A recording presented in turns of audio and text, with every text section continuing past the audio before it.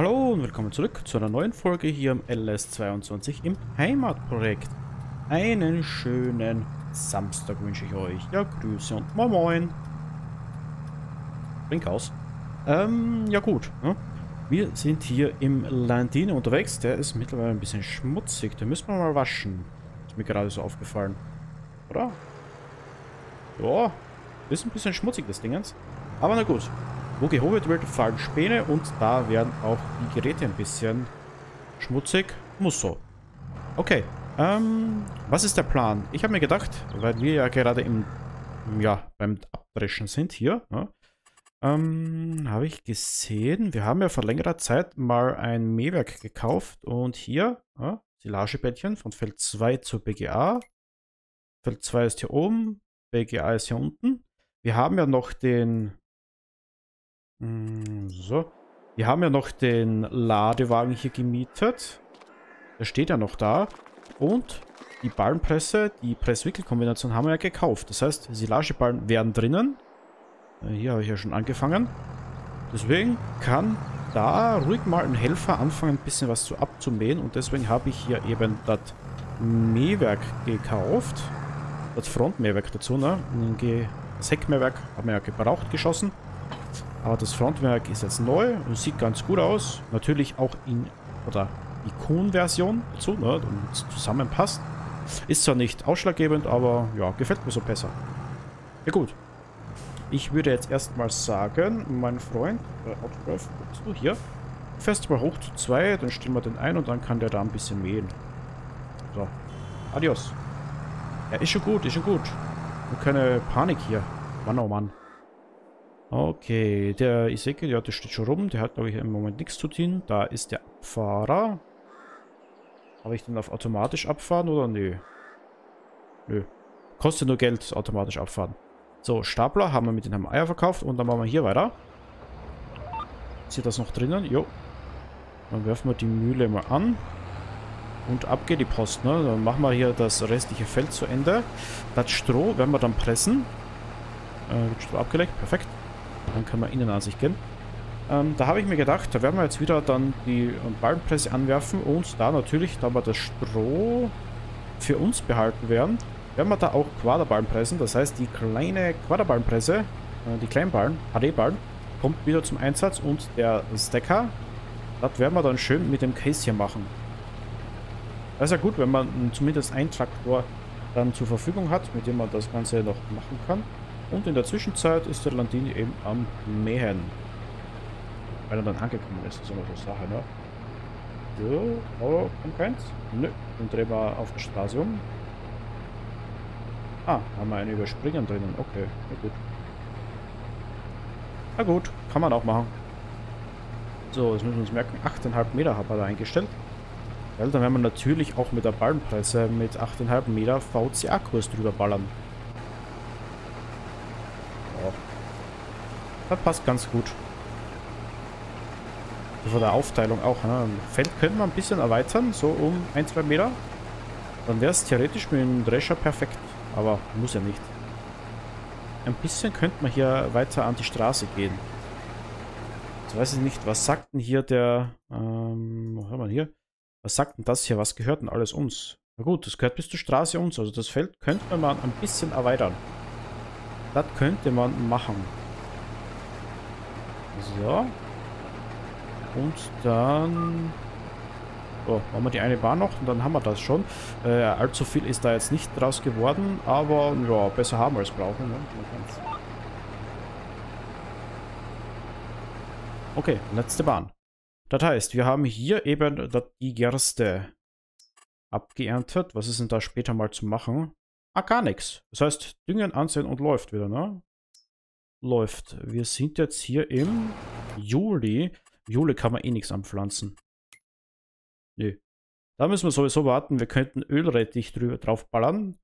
Und dann später, keine Ahnung, eine Runde Raps oder was auch immer machen. Müssen wir mal gucken, was wir brauchen. Das müssen wir uns dann noch ähm, zu Gemüte ziehen. Wir wollen ja in Richtung Kuhstall gehen. Das heißt, wir werden definitiv irgendwo ein bisschen Gras machen. Oder machen wir hier ein Grasfeld draus?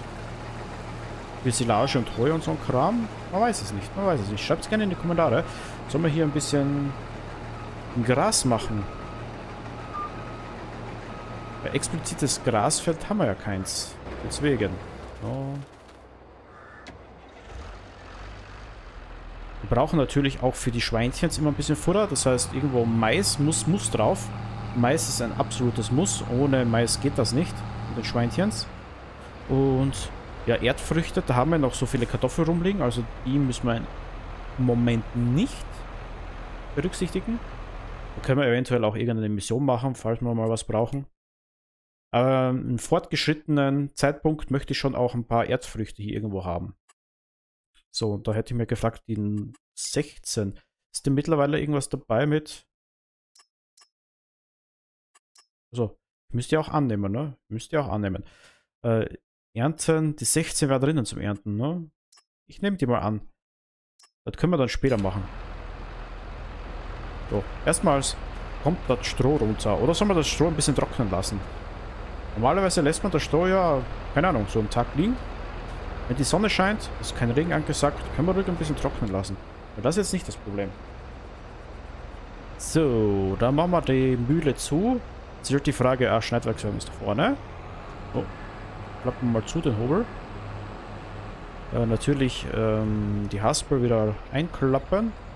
Nicht, dass wir die dann beim Transport abbrechen oder eindellen. Das wollen wir ja nicht. Ne? Man kennt's. Ja. Oh, passt eigentlich nicht. Okay.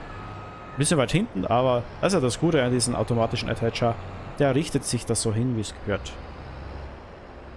So, jetzt ist halt die Frage, muss ich da hinten noch was einfahren? Jo. Strohhäcksler fahren wir auch noch ein. Perfekt, dann haben wir mehr Platz. Und stoßen wir nicht an, ne? Okay. Dann Rundumleuchte an und dann düsen wir weg. Dann düsen wir erst einmal nach Hause. Hoffen wir, das bleibt da oben. Oder nicht nach Hause. Mit dem müssen wir ja eigentlich dann zum Feld 16, ne? Feld 16. Wie kommt man da hoch? Äh, ja, ja, gut. Wenn ich da jetzt links fahre und dann rechts und dann einfach immer gerade durch, über den Fluss drüber, rechts, links, oi. Ja, wir haben, wir haben schon erfahren, ob wir da ankommen. Aber müsste eigentlich funktionieren. So. Ähm, der Helfer ist noch unterwegs. Ne, der ist schon angekommen. Warte. Pack mir hier mal geschwind. Pack mir hier mal. So, Autos können vorbei. Perfekt. Na gut, der ist angekommen. Das heißt, den können wir ruhig mal einstellen hier. Der kann ruhig mal hier anfangen, ein bisschen was abzumähen. Und zwar... Genau, das ist der. Job erstellen. Das müsste, glaube ich, Feldarbeit sein, oder? Jo. Ist Feldarbeit.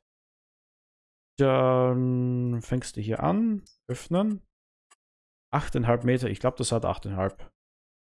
So, dann machen wir dreimal Vorgewände. Weich.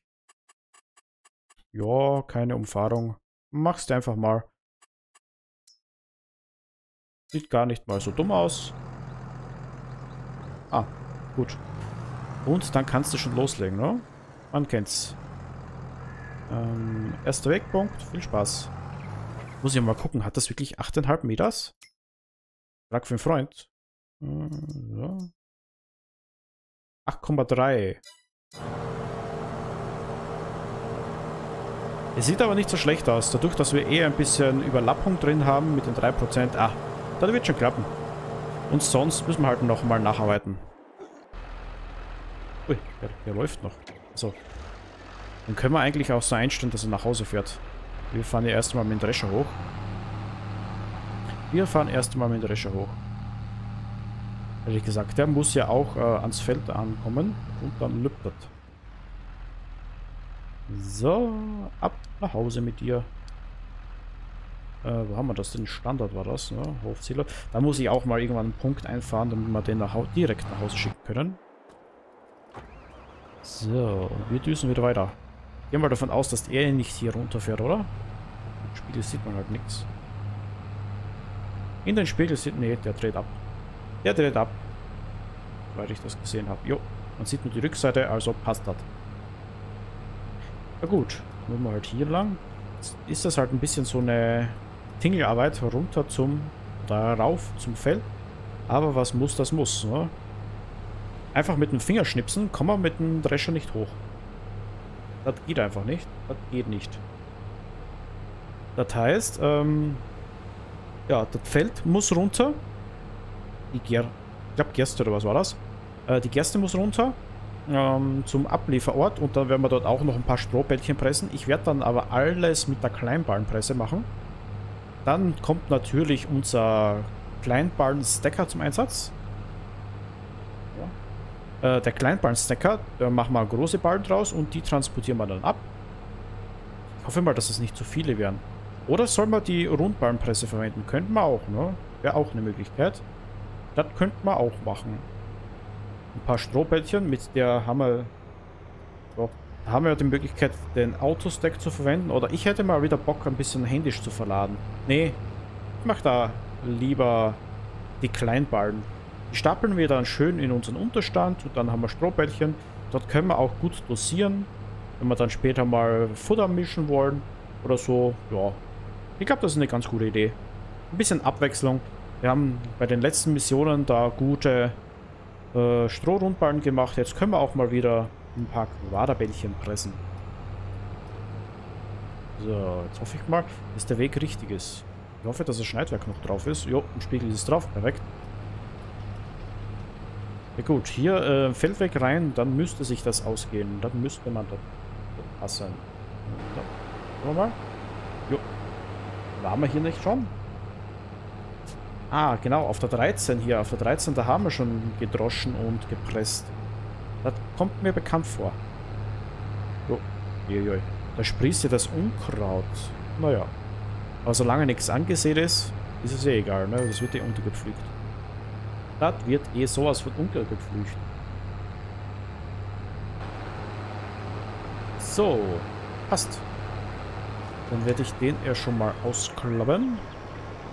Ähm, jetzt halt die Frage, wo stellen wir uns das hin? Eigentlich können wir das eh beim Weg hier stehen lassen.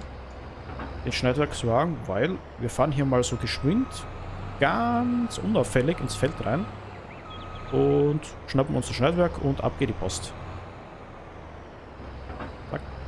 Dann natürlich wieder Haspel hoch. Ähm, hier Strohablage an. Und dann geht er los hier, der Peter. Ja, und da hätte ich mich gedacht, äh, da werden wir hier mal den Helfer reinwerfen und dann schauen wir uns das an. Stroh wird abgeleckt, perfekt, und das lübt. Ja, wie gesagt, hier mit der Überlappung, das passt alles. Es sind zwar 8,3 Meter angegeben von Giants, der oder CP rechnet mit 8,5, aber mit den 3% Überlappung. Außer hier, wenn er da die Kurven fährt, da ist natürlich, bleibt ein bisschen stehen, aber ja. So übertrieben viel wird hier eh nicht stehen bleiben, ne? Das passt so. Ja, genau, wir brauchen dann auch einen Schwader. Haben wir schon einen Schwader? Weil sonst können wir nicht pressen. Haben wir einen Schwader? Das ist die Frage. Sieht aber nicht so nach aus. Nö. Hier ist keiner. Das heißt, wir müssen noch einen Schwader kaufen. Ah, das habe ich jetzt nicht bedacht. Das habe ich jetzt nicht bedacht, aber das wird schon. So. Also, müssen wir da, wenn wir schon hier ein bisschen Gerste drin haben, na jetzt ist es schon spät, müssen wir da ein bisschen füttern? Getreide ist noch genug drinnen und bei den Hühnchen ist auch noch genug drinnen. Nö, können wir einlagern. Können wir einlagern. Dann gucken wir uns das mal an. Ernten ist... Ah, das ist Hafer, okay. Ja, das habe ich jetzt nicht be bedacht. Hafer 16 zum Shop Jelardin. So, den stellen wir erstmal ein. So. Die 16, weil dann werden wir wieder in den Drescher reinspringen und uns abfahren lassen. Shop Jelardin. Ähm, Jelardin Shop. Ab dafür. Und so. Müssen wir denen natürlich auch äh, sagen, dass du auf die 16 bist, dann fährt er uns auch ab, weil sonst macht er das nicht. Das ist ja ein ganz ein eigensinniger. So, äh, rein da und ab dafür. Und läuft schon wieder. Perfekto. Ja, dann ist es halt Hafer. Haben wir irgendeine Verwendung für Hafer? Ich frage für einen Freund. Warte. Ähm, ja gut, Tja, schauen wir mal wieder rein hier. Ne, hier ist nichts Neues dabei. Hier wäre nur das Heckmähwerk gewesen zum Nachziehen. Das möchte ich auch irgendwann mal verwenden, aber es ist halt, naja, übertrieben toll ist es nicht, ne? Ich habe es im 19er ein paar Mal verwendet, aber sonst nicht. So. Ah, genau, das wollte ich noch gucken. Ähm, bei den platzierbaren Dingens, äh, da war ja irgendwas für diese Omatana-Dinger dabei, wo man Hafer verarbeiten kann, oder? Kann man nicht Hafer zu Hafermilch oder irgend sowas? Oder Haferflocken? Nein. Ähm, upsie. Ja gut, ich würde aber sagen, mit dem ja, kurzen Intermezzel hier, dass wir hier ein bisschen wieder aus dem Feld rausgefahren sind. Man kennt's, passiert öfters mal. Äh, Soll es das für diese Folge und auch für diese Woche gewesen sein. Ähm, wenn euch das Video gefallen hat, lasst gerne einen Daumen nach oben da und schaut dann auch bei der nächsten Folge wieder rein. Bis dann. Ciao.